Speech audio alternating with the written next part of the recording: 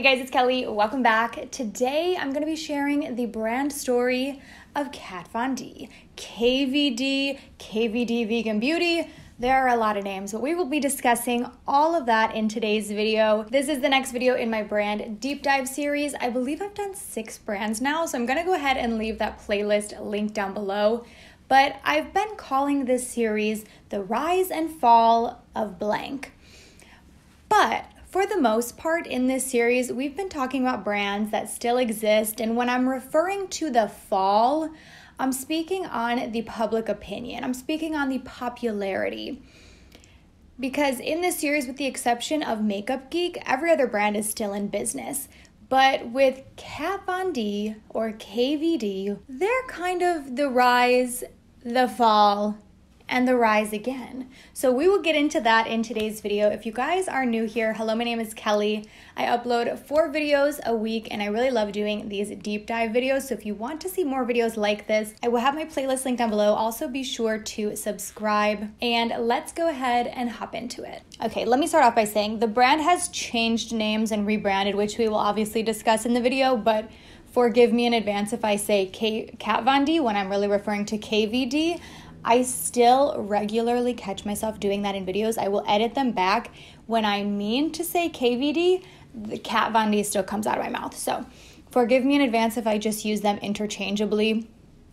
Though from the beginning of the story, Kat Von D was accurately the name of the brand. So what I was saying is that with this brand, you can really sum up the rise and the fall pretty quickly. The TLDR is Kat Von D herself. TLDR, too long didn't read. So, in the other brands I've done in this series, I've talked a little bit about the founder, but not a ton about their personal lives because we focused more about their efforts with their brand and less about themselves.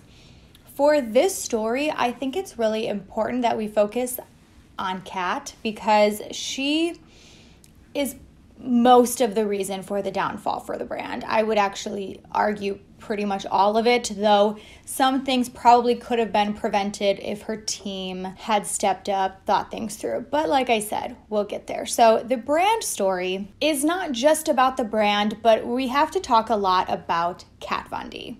So, Kat Von D was born in Mexico and her family immigrated to California when she was age six. I was also reading in some interviews that she did that she started tattooing at a very young age. So, her fame before her brand really came from her artistic ability as a tattoo artist. And she started tattooing as young as age 14, and she actually dropped out of high school to pursue tattoo artistry. And she noted in an interview that her parents were very concerned about this, as I would imagine most parents would be if their child dropped out of school to pursue I mean, anything, just dropping out of school, I'm sure would concern a parent. And that was definitely the case here. But she actually quickly became a very well known tattoo artist. And she started getting a lot of publicity when she starred on a few like guest star spots on a TLC television show called Miami Ink. So I vaguely remember watching this show, and even when I was doing the prep for this video, I didn't quite remember the timeline. I was like, was it really Miami Ink? I thought it was LA Ink. And there were both. They actually were both. So she was originally just in a few episodes of Miami Ink because another cast member had an emergency and they kind of brought her in to fill in, but she quickly became a fan favorite. Now, at this point, there was actually some drama between her and the other cast members. And because of that, she was not going to continue to come back on the show. And TLC then created a spin off show centered around Kat called LA Ink. Now, I think this timeline is important because it lines up almost perfectly with the start of her cosmetic line, but she left Miami Ink in 2007 and then LA Ink came out in 2007.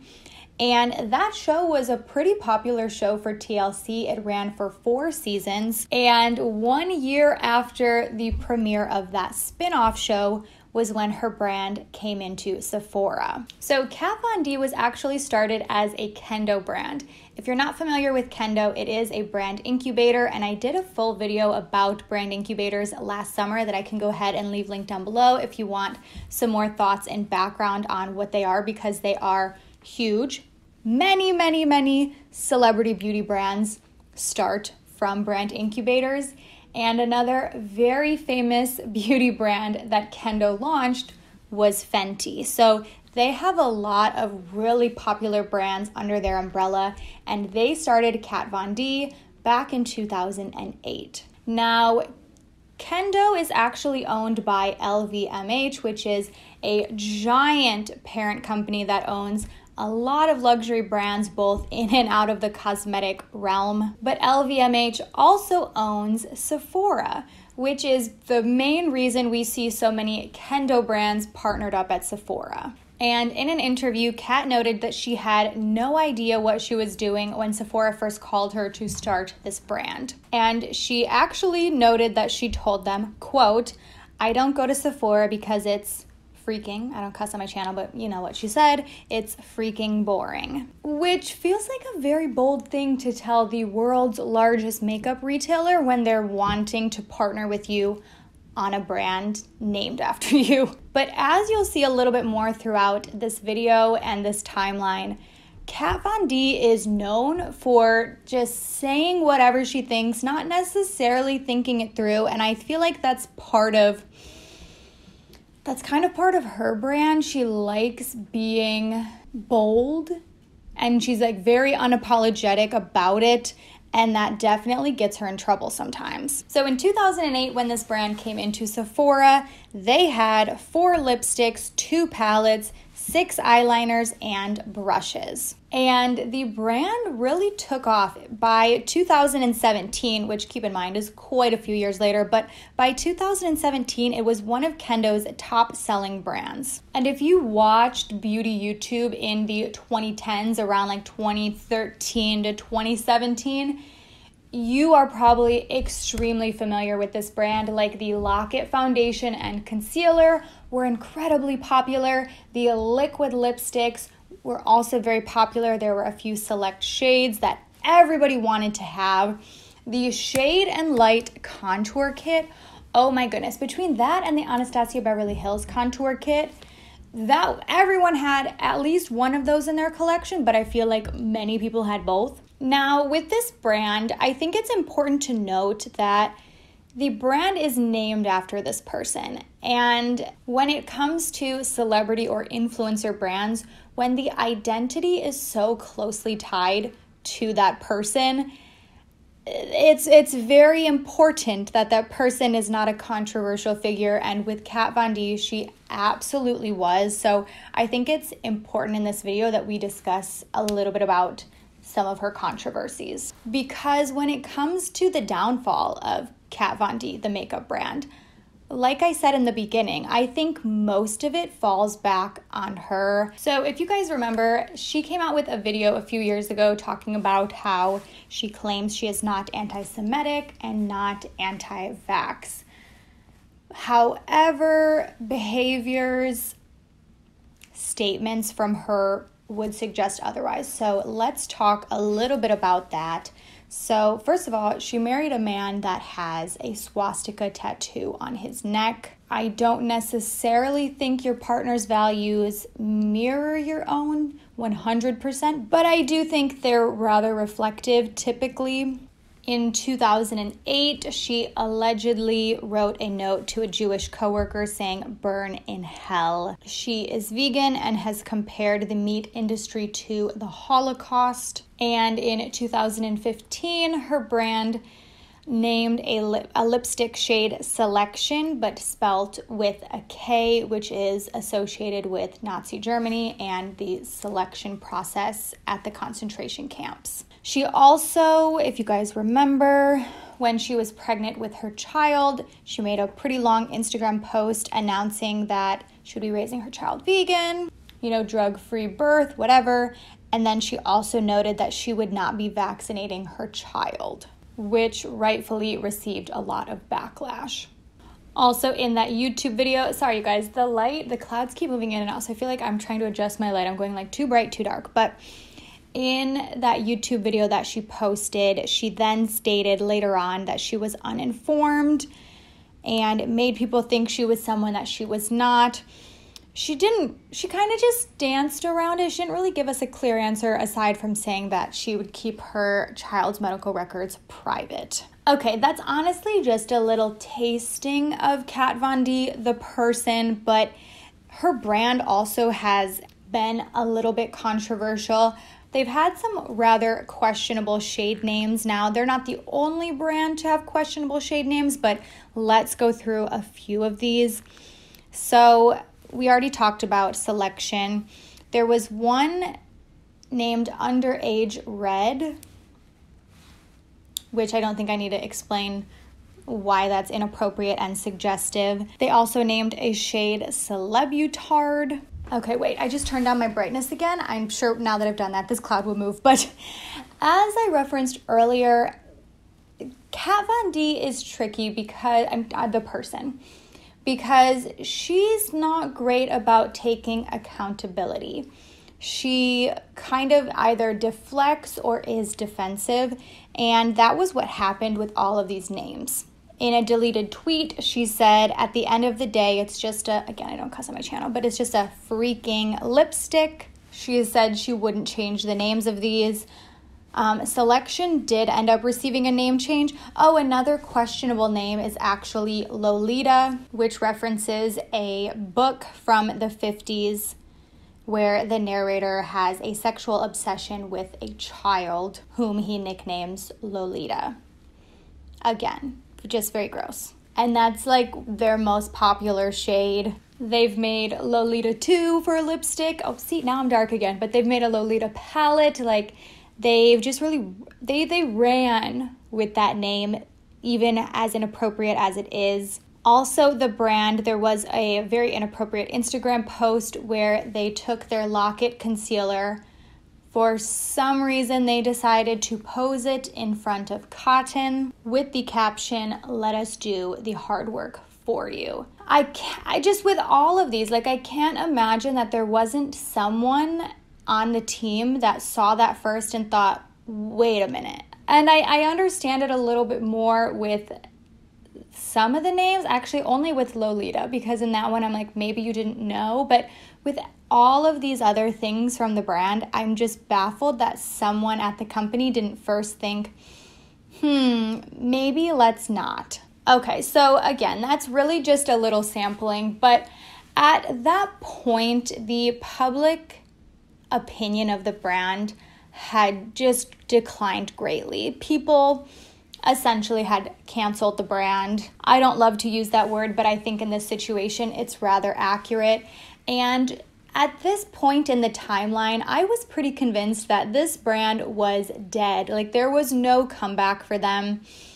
And that was until Kat Von D, the person, announced that she would be stepping down, leaving the brand. I'm going to summarize this post because it's pretty long, but she said on her Instagram, this past year has been one of great change for me. As many of you know, I gave birth to my beautiful baby boy, launched my vegan shoe line, and am now busy preparing to release my long awaited album in spring, followed by an international tour. As much as I wish I could balance all of this on top of continuing my makeup line, it has become clear to me that I just can't do everything at the maximum capacity. It's hard to admit this since I've always said you can do everything and anything, but I don't think admitting one's limits is a bad thing. With that being said, I've decided to sell my shares to the brand, turning it over to Kendo, my partners for the last 11 years. Again, there's more, but I just, well, we're just reading a little clip of it to get to the point. So, her story is that she was too busy and then decided to step down. I would speculate that that's not the full story. I can only assume that she was, um, that it was recommended that she did step down because had she not, this brand could not have survived. I'm honestly shocked that they were able to turn it around even without her, but As of today, she has no affiliation with the brand aside from it still having her initials, which she actually noted in a comment on her Instagram when someone asked about the rebrand. She said, I have absolutely nothing to do with that brand, and to be honest, I wish they'd change the name altogether already so I wouldn't be associated with it. So, the rebrand round one, they said KVD stood for Kindness Vegan Discovery. Rebrand round two, they say it stands for Cara, Veritas, and Decora. So the Cara Veritas Decora is Latin for value, truth, and beauty. I don't really love either of those name routes, but it is a little bit embarrassing for the brand to say, first we're going to be this, and then actually, no, we're going to be this. But regardless, I do appreciate that they disassociated from the original founder. Like I said, I don't think that decision was Kat's alone. I can only assume that she was asked to step down. And weirdly, I was thinking about this earlier. I almost would have preferred that the brand would have come out and said, you know, we asked her to step down. We don't agree with a lot of her behaviors. But I also understand that it probably felt safer for them to choose this route and to have her say, oh, I'm stepping down, even if that's not the full story. But let's talk a little bit about the rebrand because I was a hater. I didn't think that they could make a comeback, and they really have. And in my opinion, so much of that falls back on the app TikTok. So, had this rebrand happened a few years earlier when TikTok did not exist at the time, I don't think they could have had the turnaround that they did. Previously, Kat Von D, the brand, gained so much popularity on YouTube but I feel like a lot of YouTube viewers, especially viewers in the beauty community, are knowledgeable on what happened with the brand and had kind of written them off.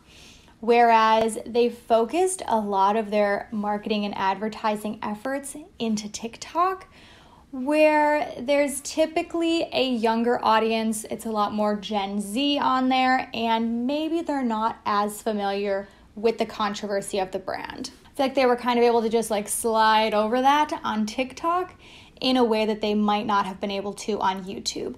At least that has been my perception. We've noticed a lot of brands have a bit of a revival through TikTok.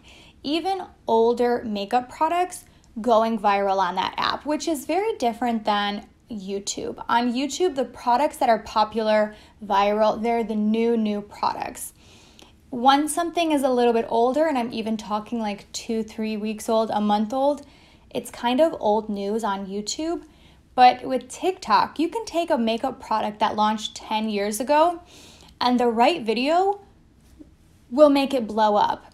I'm, I'm even thinking of the Charlotte Tilbury beauty light wands. Those are not a new product, and yet it's really only been in the last few years that they have reached this insane level of popularity. I mean, they've always been popular, but they're constantly sold out now because of how viral they've gone on TikTok. And that same style of video has really benefited the rebrand for KVD. Mostly starting with their Good Apple Foundation Balm. This product, oh my gosh, you could not escape this on TikTok. And in general, I, ha- I haven't tried this, but the reviews of this are actually very poor. If you go onto Sephora, it has pretty low reviews. And yet, the popularity of this product was just next level. Like, this alone kind of brought the brand back. And then with their concealer, their contour sticks, they're launching so many new products that are rather on trend with current makeup trends. And they're pushing them to the TikTok audience. And this is something I don't feel all brands are doing well. This is one thing I think that KVD is doing right.